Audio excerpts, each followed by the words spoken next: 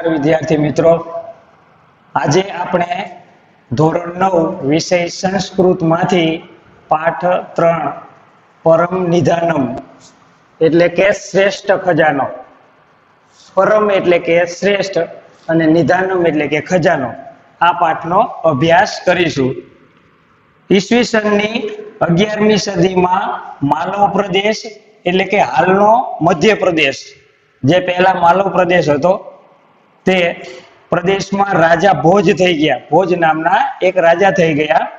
ધારાનગરીમાં રહીને રાજા ભોજે તે સમયે જેવી કીર્તિ પ્રાપ્ત કરી હતી તેવી આજે પણ છે. રાજા ભોજે એ સમયે જે કીર્તિ અને નામના પ્રાપ્ત કરી હતી, એ નામના આજે પણ છે. રાજા ભોજને બધા લોકો યાદ કરે છે. એમની સુંદર રાજ્ય વ્યવસ્થા, જટિલ પ્રસંગોમાં પણ ન્યાય આપવાની કુશળતા તથા વિદ્વાનોની ગુણવત્તાની પરખ વિશેની કેટલીક રમૂજી કથાઓ આજે લોકોમાં પ્રચલિત છે. રાજા ભોજ વિશેની જે કથાઓ છે, તે આજે પણ લોકોમાં પ્રચલિત છે. આવી કથાઓનો સંસ્કૃતમાં રચાયેલો એક સંગ્રહ ભોજ પ્રબંધના નામે જાણીતો છે. રાજા ભોજ વિશેની જે બધી કથાઓ છે, તેના વિશે એક સંગ્રહ રચાયેલો છે. અને એ સંગ્રહનું નામ છે ભોજ પ્રબંધ. અને આ જે ભોજ પ્રબંધ નામનો જે ગ્રંથ છે, તેમાં રાજા ભોજ વિશેની બધી જ માહિતી અને બધી જ કથાઓ ઉપલબ્ધ છે. આમાં રાજા ભોજને કેન્દ્રમાં રાખીને અનેક ઘટનાઓ વર્ણવવામાં આવી છે.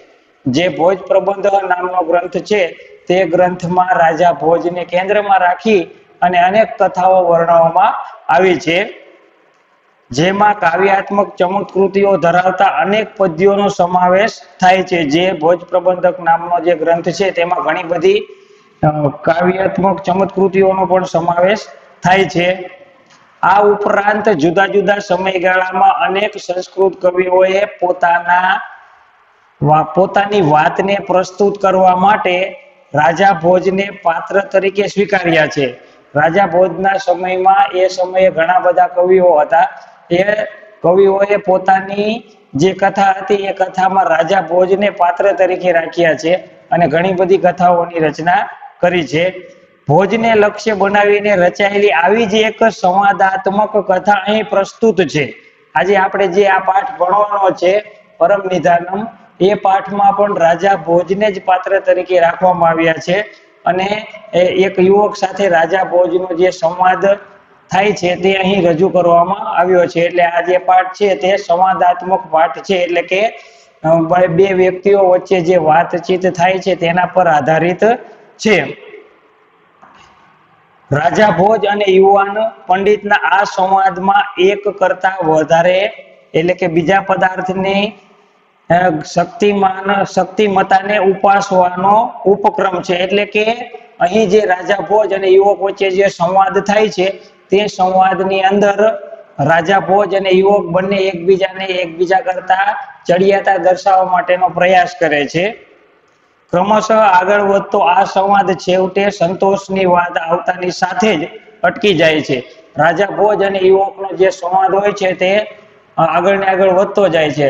પરંતુ જ્યારે સંતોષની વાત આવે છે, ત્યારે આ બંને વચ્ચેનો જે સંવાદ હોય છે તે અટકી જાય છે.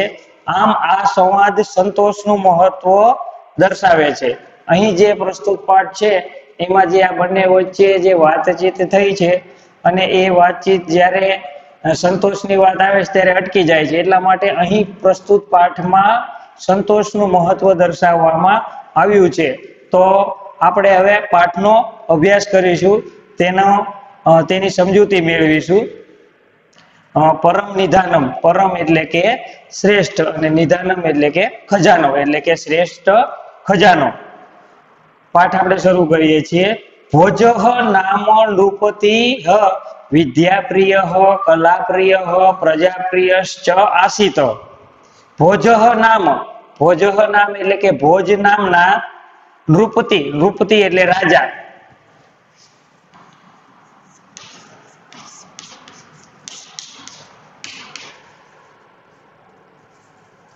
ભોજ નામના રાજા, વિદ્યાપ્રિય, કલાપ્રિય પ્રજાપ્રિય આશિત. આશિત એટલે કે હતા. એટલે કે ભોજ નામના રાજા, વિદ્યાપ્રિય, કલાપ્રિય, ચ એટલે અને પ્રજાપ્રિય એટલે કે પ્રજાપ્રેમી હતા. ભોજ નામના રાજા, વિદ્યાપ્રિય, કલાપ્રિય અને પ્રજાપ્રેમી હતા. અતઃ તસ્ય રાજસભાયામ દૂરદેશાત અનેકે વિદ્યા વિશારદાહ પંડિતાહ સમાગચ્છન્તિ સ્મ. અતઃ એટલે કે આથી, તસ્ય એટલે કે તેની રાજ્યસભાયામ એટલે કે રાજ્યસભામાં.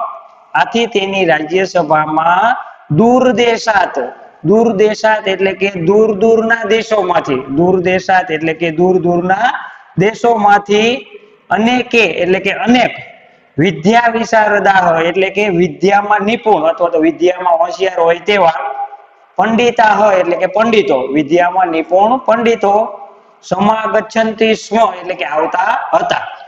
અર્થાત આવી આથી તેની રાજ્યસભામાં દૂર દૂરના દેશોમાંથી અનેક વિદ્યા નિપુણ પંડિતો આવતા હતા. રાજા ભોજ જે હતા. તેની સભામાં દૂર દૂરના દેશોમાંથી ઘણા બધા વિદ્યામાં નિપુણ પંડિતો આવતા હતા. એકદા ભોજ પ્રાસાદસ્ય ગવાક્ષે ઉપવિષ્ટ આસિત. એટલે કે એકદા એટલે કે એકવાર ભોજ એટલે કે ભોજ, રાજા ભોજ એકવાર રાજા ભોજ, પ્રાસાદસ્ય, પ્રાસાદ એટલે કે મહેલ.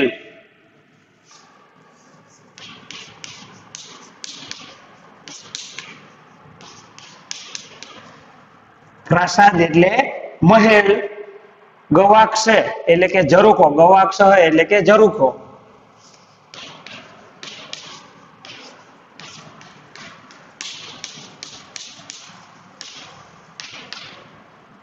ગવાક્ષ એટલે કે ઝરૂખો.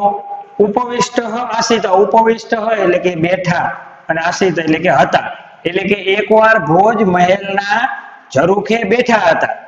એક વખત રાજા ભોજ હતા તે પોતાના મહેલના ઝરૂખે બેઠા હતા.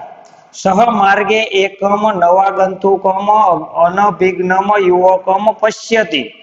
સહ એટલે કે તે તે એટલે કે રાજા ભોજ, માર્ગે એટલે કે રસ્તામાં અથવા તો માર્ગમાં. એકમ એટલે કે એક, નવા ગંતુકમ એટલે કે નવા આવનાર. નવા ગંતુકમ એટલે કે નવા આવનાર અનભ- અનભિગ્નમ. અનભિગ્નમ એટલે કે અપરિચિત, અનભિગ્નમ એટલે કે અપરિચિત.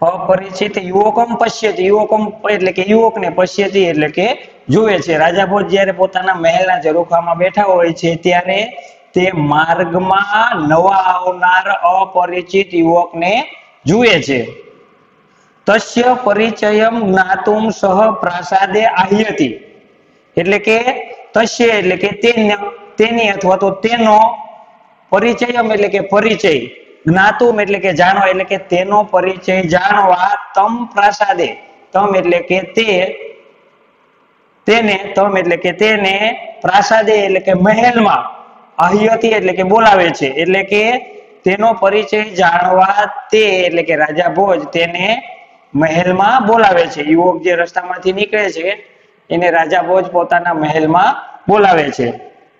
તતસ્તયો મધ્ય એવો વાર્તાલાપ સંજાત તતસ્તયો એટલે કે તત એટલે કે પછી અને તયો હોય એટલે કે બંને, તે બંને. તતસ્તયો એટલે કે પછી તે બંને મધ્ય એટલે કે વચ્ચે, એટલે કે પછી તે બંને વચ્ચે એવમ એટલે કે જ વાર્તાલાપ હોય, એટલે કે વાર્તાલાપ અથવા તો વાતચીત અથવા તો સંવાદ સંજાત હોય એટલે કે થયો. એટલે કે પછી તે બંને વચ્ચે જ વાતચીત અથવા તો વાર્તાલાપ થયો અથવા તો સંવાદ થયો. પછી તે બંને વચ્ચે સંવાદ થયો.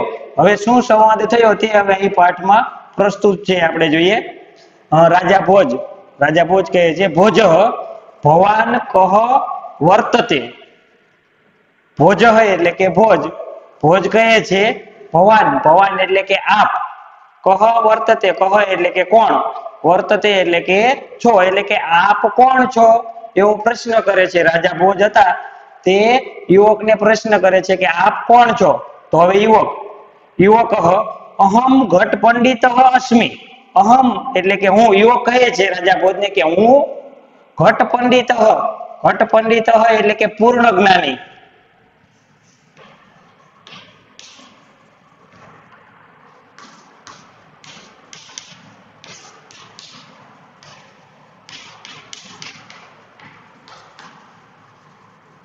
ઘટ પંડિત હોય એટલે કે પૂર્ણ જ્ઞાની. જેનામાં સંપૂર્ણ જ્ઞાન છલોચલ ભરેલું હોય તેને ઘટ પંડિત કહેવાય. તો જે રાજા ભોજે એને પ્રશ્ન પૂછ્યો છો કે આપ કોણ છો? તો એવો કહે છે, અહમ ઘટ પંડિત અસ્મિ. એટલે કે હું ઘટ પંડિત છું, અસ્મિ એટલે કે છું, એટલે કે હું ઘટ પંડિત છું. ભોજ. ઘટ પંડિત રાજા ભોજ શું કહે છે? ઘટ પંડિત રાજા એવો પ્રશ્ન કરે છે કે ઘટ પંડિત કેમ નામ ઘટ પંડિત? એટલે કે કિમ એટલે કે શું? નામ ઘટ પંડિત એટલે કે એટલે શું? એટલે કે એ શું કહે છે? રાજા ભોજ કહે છે જે યુવકે કઈ કહ્યું કે હું ઘટ પંડિત છું, એ સાંભળી અને ભોજ કહે છે, ઘટ પંડિત હોય એવો પ્રશ્ન કરે છે. પછી પાછો બીજો પ્રશ્ન કરે છે કે કેમ નામ ઘટ પંડિત હોય? એટલે કે ઘટ પંડિત એટલે શું? એવું રાજા ભોજ યુવકને પૂછે છે. તો હવે યુવક, યથા ઘટે પરિપૂર્ણમ જલમ તિષ્ઠતી, તથેવ મયી પરિપૂર્ણમ જ્ઞાનમ વર્તતે. યુવક કહે છે, યથા. યથા એટલે કે જેમ. ઘટે એટલે કે ઘડામાં એટલે કે જેમ ઘડામાં પરિપૂર્ણમ એટલે કે છલોછલ પરિપૂર્ણમ એટલે કે છલોછલ જલમ તિષ્ઠતી જલમ એટલે કે પાણી અને તિષ્ઠતી એટલે કે હોય છે એટલે કે જેમ ઘડામાં છલોછલ પાણી હોય છે તથેવ તથા વત્તા એવ અહીં સંધિ છૂટી પડશે તથા વત્તા એવ તથા એટલે કે તેથી અને એવ એટલે કે જ એટલે કે તેથી જ મય એટલે કે મારામાં મય એટલે કે મારામાં પરિપૂર્ણમ જ્ઞાનમ વર્તતે. પરિપૂર્ણમ એટલે કે પૂરેપૂરું જ્ઞાનમ એટલે કે જ્ઞાન અને વર્તતે એટલે કે છે. એટલે કે જે યુવક હોય છે એ રાજા ભોજ ને જવાબ આપે છે. રાજા ભોજે જે કીધું કે ઘટ પંડિત એટલે શું? તો યુવકે કીધું કે જેમ ઘડામાં છલોછલ પાણી ભરેલું હોય છે અથવા તો જેમ ઘડામાં છલોછલ પાણી હોય છે તેવી જ રીતે મારામાં પૂરેપૂરું જ્ઞાન છે. અતઃ અહમ સ્વામાત્માનમ ઘટ પંડિતમ મનીએ અતઃ એટલે કે આથી અહમ એટલે કે હું સ્વ આત્મનમ સ્વ એટલે કે પોતાને. આત્મનમ એટલે કે પોતાની જાતને. સ્વ આત્મનમ એટલે કે પોતાની જાતને ઘટ પંડિતમ મનીએ મનીએ એટલે કે માનું છું અને ઘટ પંડિત હોય એટલે કે ઘટ પંડિત. એટલે કે આથી હું પોતાની જાતને ઘટ પંડિત માનું છું. રાજા ભોજે જે પ્રશ્ન પૂછ્યો તો એને કે ઘટ પંડિત એટલે શું? તો અહીં યુવકે ઉત્તર આપ્યો કે જેમ ગળામાં છલોછલ પાણી ભરેલું હોય છે, તેથી, તેવી જ રીતે મારામાં પણ પૂરેપૂરું જ્ઞાન ભરેલું છે, તેથી હું મારી જાતને ઘટ પંડિત માનું છું. તો હવે યુવકની વાત સાંભળી અને રાજા ભોજ કહે છે, ભોજ, યુવકસ્ય ગર્વપૂર્ણામ ઉક્તિમ શ્રુત્વા સ્વામાત્માનમ તતો અપી તતો અપી ધીકમ મત્વા અહંકારેણ સહ યદિ ત્વમ ઘટ અસી તર્હિ અહમ મુદ્ગરત્વેન વર્તે મુદ્ગર સ્વકીયેન પ્રહારેણ ઘટમ વિનાશયતી અહમપી ઘટ રૂપમ ભવંતમ વિનાશયામી તો હવે અહીંયા આપણે જોઈએ કે રાજા ભોજ શું કહેવા માંગે છે કે યુવકસ્ય ગર્વપૂર્ણા મુક્તિમ શ્રુતવા. યુવકસ્ય એટલે કે યુવકના ગર્વપૂર્ણામ એટલે કે ગર્વપૂર્ણ, અભિમાનપૂર્ણ જે એને વાત કહી હતી કે મારામાં પૂરેપૂરું જ્ઞાન છે એટલા માટે હું પોતાની જાતને ઘટ પંડિત માનું છું. એટલે આવા ગર્વપૂર્ણ ઉક્તિમ એટલે કે વચન શ્રુતવા એટલે કે સાંભળીને, યુવકના આવા ગર્વપૂર્ણ વચન સાંભળીને સ્વ આત્મનમ એટલે કે પોતાની જાતને તતઃ વત્તા અપી વત્તા અધિકમ તતઃ અધિકમ શબ્દ છે, એની સંધિ છૂટી પડશે. તતઃ વતા અપી વતા અધિકમ. તતઃ એટલે કે પછી અપી એટલે તતઃ એટલે તેનાથી અપી એટલે કે પણ અને અધિકમ એટલે કે ચડિયાતા. અધિકમ એટલે કે ચડિયાતું મતવાય એટલે કે માનીને અહંકાર એનો સહ એટલે કે અહંકાર સાથે. એટલે કે રાજા ભોજ યુવકના ગર્વપૂર્ણ વચન સાંભળીને પોતાની જાતને તેનાથી ચડિયાતી માનીને અહંકાર સાથે કહે છે. યુવકને, યદિ ત્વમ ઘટ અસી. યદિ એટલે કે, જો. ત્વમ એટલે કે, તું. ઘટહ હસી એટલે કે, ઘડો છું. જો તું ઘડો છું, તરહી અહમ મુદગરત્વેન વર્તે. તરહી એટલે કે, તો. અહમ એટલે કે, હું. મુદગર એટલે કે, હથોડો.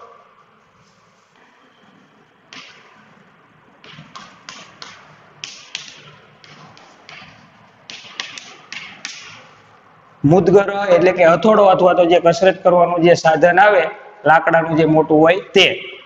અહીં આપણે શબ્દનો અર્થ રાખીએ હથોડો.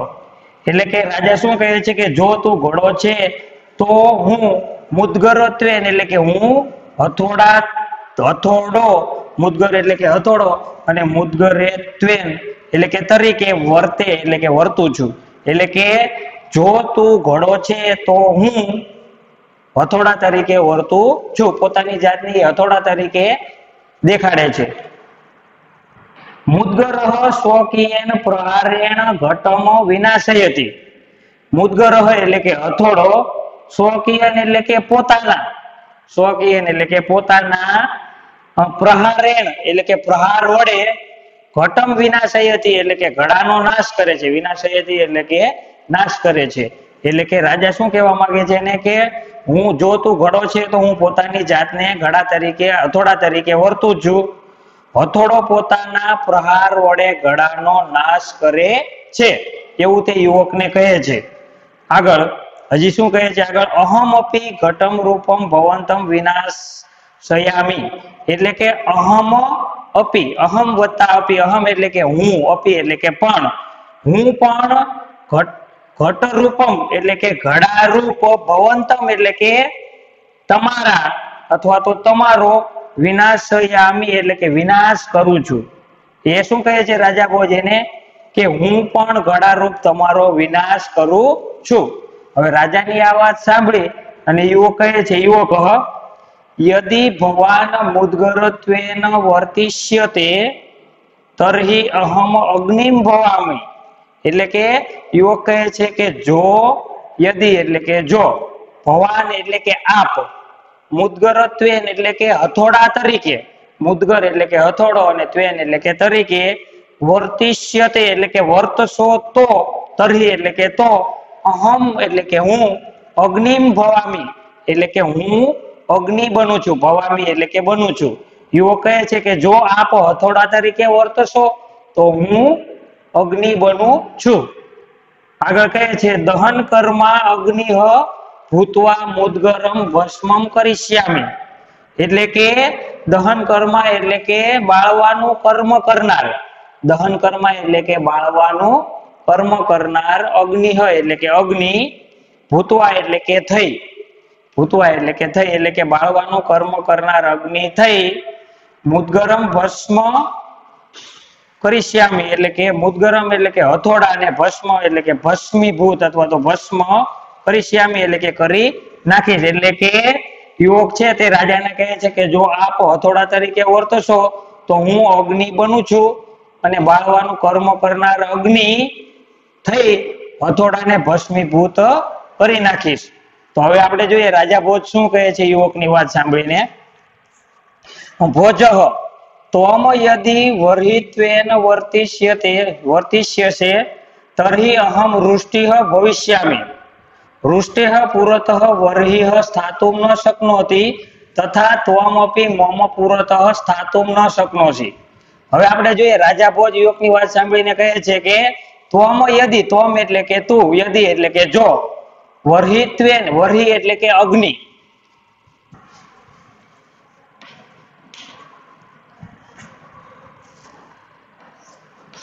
વર્હિ એટલે કે અગ્નિ. વર્હિત્વેન એટલે કે અગ્નિ તરીકે. એટલે કે જો તું અગ્નિ તરીકે વર્તિષ્ય છે, એટલે કે વર્તીશ, તરહી એટલે કે તો અહમ વૃષ્ટિ. અહમ એટલે કે હું, વૃષ્ટિ હોય એટલે કે વરસાદ. ભવિષ્યામી એટલે કે બનીશ. એટલે કે જો તું અગ્નિ તરીકે વર્તીશ, તો હું વરસાદ બનીશ.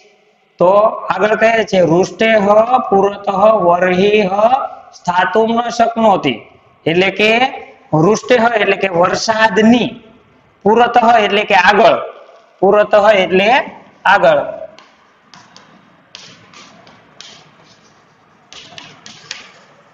એટલે કે એ કહે છે કે વરસાદની આગળ સ્થાતુમ ન શકનોતી એટલે કે ઊભો નહીં રહી શકે. સ્થાતુમ એટલે કે ઊભો ન શકનોતી એટલે કે રહી શકે. એટલે કે વરસાદની આગળ અગ્નિ ઊભો નહીં રહી શકે અથવા તો ઊભો રહી શકતો નથી. તથા ત્વમપી તથા એટલે કે તેમ, ત્વમ વત્તા અપી. ત્વમ એટલે કે તું, અપી એટલે કે પણ. મમ પુરત, મમ એટલે કે મારી, પુરત એટલે કે આગળ. મારી આગળ સ્થાતુમ ન શકનોસી એટલે કે ઊભો રહી શકીશ નહીં. રાજા ભોજ એને કહે છે કે જો તું અગ્નિ તરીકે વર્તીશ, તો હું વરસાદ બનીશ. વરસાદની આગળ અગ્નિ ઊભો રહી શકતો નથી. તેમ તું પણ મારી આગળ ઊભો રહી શકીશ નહીં. એવું રાજા ભોજ યુવકને કહે છે. હવે રાજા ભોજ અને યુવકનો જે સંવાદ છે તે આગળ ને આગળ ચાલતો જાય છે. હવે યુવક કહે છે, યુવક વૃષ્ટિમ તું વાયુ સ્વબલેન યત્ર ઉતરાપી વાહિતુમ હરતી. એટલે કે વૃષ્ટિમ એટલે કે વરસાદને તું એટલે કે તો. વાયુ હોય એટલે કે પવન. વાયુ હોય એટલે પવન.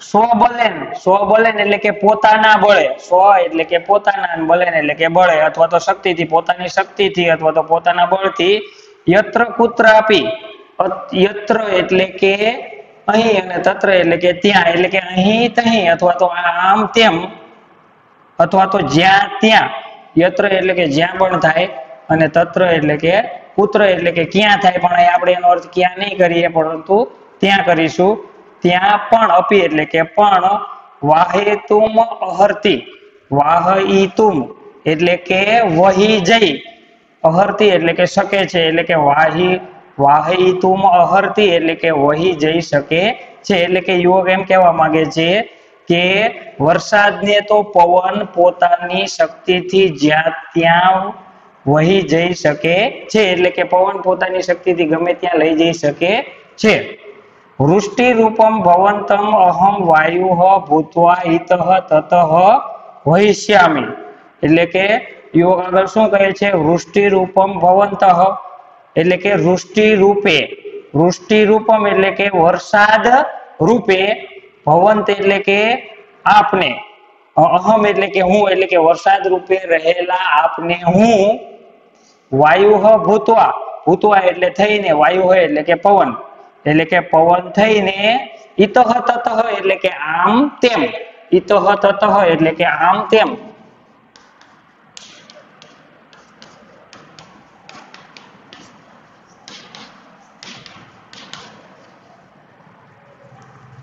આમ તેમ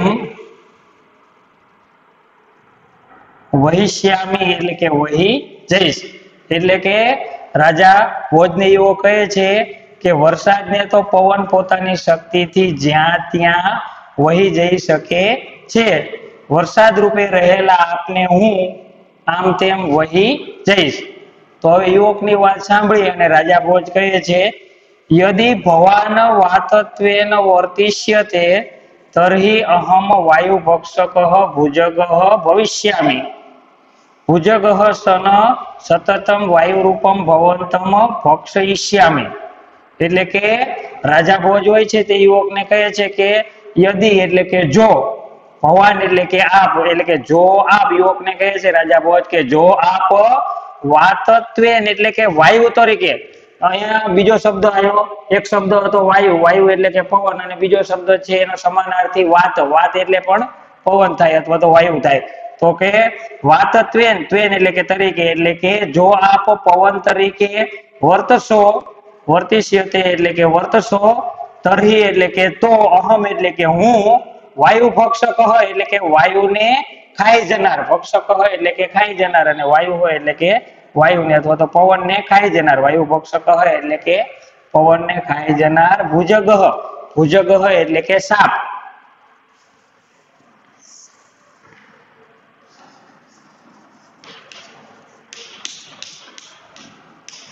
ભુજગ હોય એટલે કે સર્પ. ભુજગ ભવિષ્યામી. ભવિષ્યામી એટલે કે બનીશ. એટલે કે જો આપ પવન તરીકે વર્તશો તો હું પવનને ખાઈ જનાર સર્પ બનીશ. ભુજગહ સન સતતમ વાયુરૂપમ ભવંતમ ભય ભક્ષયિષ્યામી. ભુજગહ એટલે કે સાપ અથવા તો સર્પ સન એટલે કે બની એટલે કે ભુજગહ સન એટલે કે સર્પ બની સતતમ એટલે કે સતત. વાયુરૂપમ ભવંતમ. વાયુરૂપમ એટલે કે પવન રૂપે. ભવંતમ એટલે કે તમારું. ભક્ષયિષ્યામી એટલે કે ભક્ષણ કરીશ. એ યુવકને કહેવા માંગે છે કે જો આપ પવન તરીકે વર્તશો તો હું પવનને ખાઈ જનાર સર્પ બનીશ અને સર્પ બનીને સતત પવન રૂપ તમારું ભક્ષણ કરીશ. તો હવે યુવક પણ કહે છે, યુવક હોશિયાર હતો એનો ઉત્તર આપતા કહે છે, યુવક, ભવાન યદિ સર્પ ભવિષ્યથી તર્હિ અહમ સર્પ ભક્ષકો ગરુડો ભવામી. હવે જો યુવક શું કહે છે યુવક કહે છે કે ભવામ ભવાન યદિ સર્પ ભવિષ્યતિ ભવાન એટલે કે આપ યદિ એટલે કે જો સર્પ એટલે કે સાપ ભવિષ્યતિ એટલે કે થશો। જો આપ સાપ થશો, તરહી અહમ, તો હું, તરહી એટલે કે તો અહમ એટલે કે હું, તો હું સર્પ ભક્ષકો ગરુડો ભવામી સર્પ ભક્ષકો એટલે કે સાપને ખાઈ જનાર। સર્પ એટલે કે સાપ અથવા તો સર્પ અને ભક્ષકો એટલે કે ખાઈ જનાર ગરુડો એટલે કે ગરુડ, પક્ષી. પક્ષીઓના રાજા જે હોય છે તે ગરુડ અને જે સાપના દુશ્મન હોય છે તે. એટલે કે એ કહે છે કે જો આપ સર્પ થશો, તો હું સર્પ ભક્ષકો ગરુડો ભવામી એટલે કે હું સર્પને ખાઈ જનાર ગરુડ બનીશ. તો હવે રાજા પણ બુદ્ધિશાળી હોય છે અને ખૂબ જ હોશિયાર હોય છે. તે પણ વાણીની રમત રમતા આગળ વાતને વધારતા કહે છે ભોજહ વાકેલીમ વર્ધયનમ. વાકેલી એટલે કે વાણીની રમત.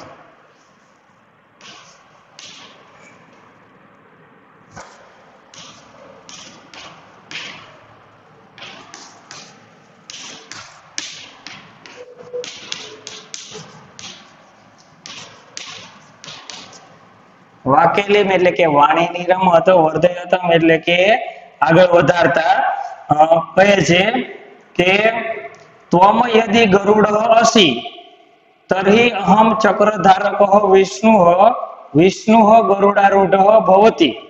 હવે રાજા કોચ શું કહે છે? વાકેલીમ, વર્ધયનમ એટલે કે વાણીની રમતને વધારતા, આગળ વધારતા, ત્વમ યદિ તું જો ત્વમ એટલે કે તું અને યદિ એટલે કે જો. ગરુડ અસી એટલે કે ગરુડ છે. તરહી અહમ તો હું. ચક્રધારક વિષ્ણુ એટલે કે ચક્રધારી. ચક્રધારક એટલે કે જેણે ચક્રને ધારણ કર્યું હોય તે વિષ્ણુ હોય એટલે કે ભગવાન વિષ્ણુ એટલે કે ચક્રને ધારણ કરનાર વિષ્ણુ છું. જો તું ગરુડ છે અથવા જો તું ગરુડ છું, તો હું ચક્રધારી વિષ્ણુ છું એવું તે યુવકને કહે છે. વિષ્ણુ ગરુડારૂઢ ભવતી. વિષ્ણુ હોય એટલે કે વિષ્ણુ. ભગવાન વિષ્ણુ તો ગરુડ વત્તા આરૂઢ. ગરુડ એટલે કે ગરુડ અને આરૂઢ એટલે કે સવાર થવું. આરૂઢ એટલે કે સવાર થવું.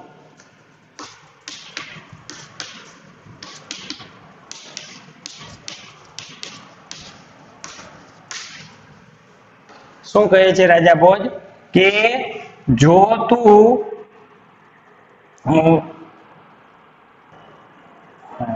વાણીની રમતને આગળ વધારતા કહે છે કે જો તું ગરુડ થાય તો હું ગરુડ પર સવાર ગરુડારૂઢ એટલે કે ગરુડ પર સવાર ભવતી એટલે કે હોય છે. એટલે કે એ શું કહે છે? કે જો તું ગરુડ થઈશ તો હું અસી એટલે કે હું સોરી અસી એટલે કે છું, તરહી એટલે કે તો, અહમ એટલે કે હું, ચક્રધારક વિષ્ણુ એટલે કે ચક્રધારી વિષ્ણુ છું. વિષ્ણુ હ ગરુડારૂઢ ભવતી એટલે કે વિષ્ણુ તો ગરુડ પર સવાર હોય છે. ગરુડારૂઢ એટલે કે ગરુડ પર સવાર. ભવતી એટલે કે હોય છે એટલે કે વિષ્ણુ તો ગરુડ પર સવાર હોય છે. તો હવે આગળ આપણે જોઈએ કે યુવક છે તે રાજા ભોજની આ વાતનો શું જવાબ આપે છે? આપણે આગળના લેક્ચરમાં જોઈશું. અહીં આપણે આ લેક્ચરને અહીં સુધી રાખીએ છીએ. આગળના લેક્ચરમાં આપણે જે બાકીનો પાર્ટ છે તેનો અભ્યાસ કરીશું. અસ્તુ.